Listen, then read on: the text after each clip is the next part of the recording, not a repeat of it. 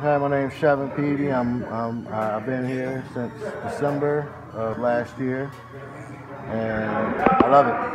It's, it's worth it. I've lost uh, over 50 pounds uh, since December. Nice, Chevin. Nice, Chevin. Hey, Chevin, real quick. Tell me, man, how much you weigh when you started a couple months ago? Weighing 260. 260. How much you weigh right now, man? 207. 207. That's what I'm talking about, man. That's how hard work. All you gotta do is come in and get that hard work.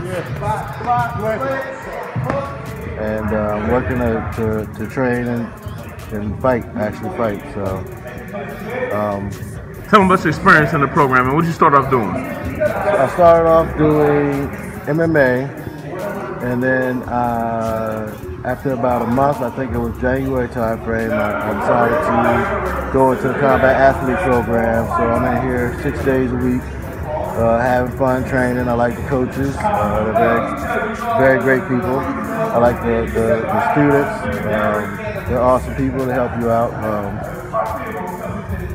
it's a very good experience if you're uh, looking for somewhere to work out at you want to train or do anything um, as fighting or lose, losing weight or or uh, just have something to do. It's, it's a great program. Great program.